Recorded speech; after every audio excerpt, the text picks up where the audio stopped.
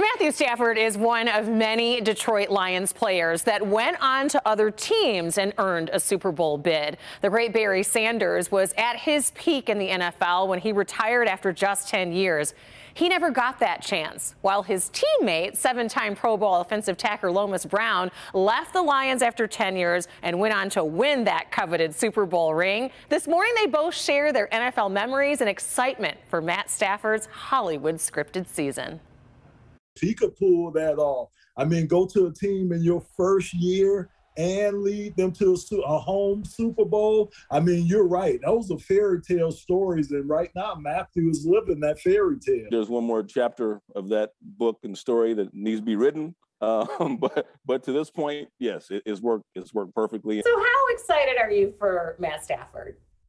I, am excited. I, I really am. That's why you play the game. We've known. I mean, the guy is an absolute phenomenal player. You know, just wasn't able to to get the results we wanted in, in Detroit, and uh, and now he's on the verge of one of the biggest game there is. So, talk about your Super Bowl experience. Oh, it was awesome! It was awesome. I went to two of them. I lost it with the Giants, and I won it with Tampa Bay. The first one we lost against the Baltimore Ravens. All I wanted to do was lay on the field and just slit my wrist. Oh. I just wanted to bleed. I, it was the worst feeling in the world. And then mm. two years later, under Coach Gruden, I was able to get back there and win the Super Bowl. And it was just, oh my gosh, it was it was just the best feeling, just the best feeling because you know you were world champions. You know it was nobody better than you in that year. While wishing his former Lions teammates, some of the greatest to play the game, could have experienced it with him. It was like Barry Sanders and Herman Moore and Kevin Glover,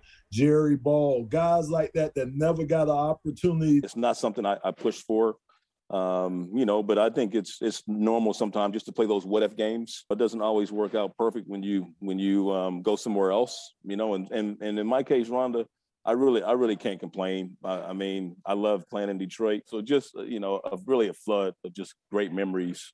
Uh, and I don't I don't know that I would I would change a thing about it. There's that school of thought that it's like a guy like Barry, a guy like Calvin Johnson, like the Lions should have let them go what are what what are your thoughts on that? It didn't happen for them, but it did happen for Matt Stafford. A lot of fans feel like it wasn't fair. You, I, I agree, Rhonda. Barry had the opportunity. I mean, Barry retired in year ten. Barry still had three, four, five good years left to him where he could have went to another team. Calvin in year nine he retired. So we know he had good years left in him.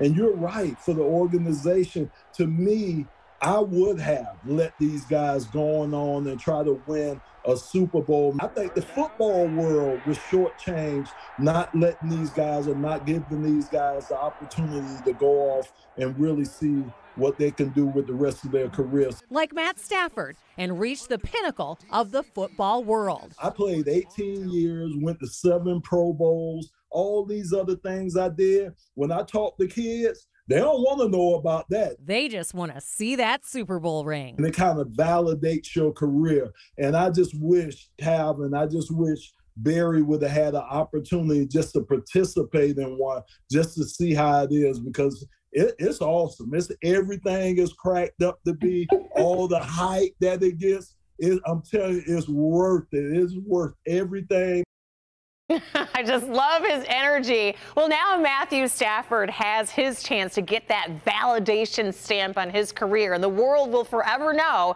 he's one of the greatest and best if he can lead the Rams to victory over the Bengals on Sunday.